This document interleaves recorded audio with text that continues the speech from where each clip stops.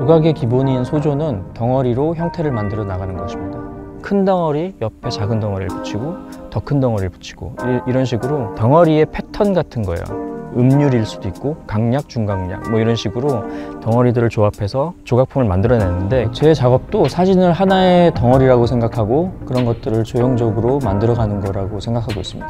형태와 볼륨과 그리고 또 색깔에 따라서 그 사물의 의미라든가 이런 것들이 들어가 있는 건 아니고 덩어리의 조합 이런 것들만 생각을 하면서 구성을 하고 있습니다. 조각을 많이 접하지 않을수록 이미지에 대해서 먼저 들어오는 거고요. 제가 계속 강조하는 것들은 조각에 대한 감각들이에요 다 이미지도 중요하게 보이지만 사실은 이 덩어리들이 붙는 게 더 중요하고 작가로서의 미덕은 이거를 무의식에 가까운 상태에서 조합을 해내는 거라고 생각을 하는데 굉장히 찰나의 과정을 거치기 때문에 그게 중요한 포인트이기도 하고 감상 포인트라고 생각하고 있습니다.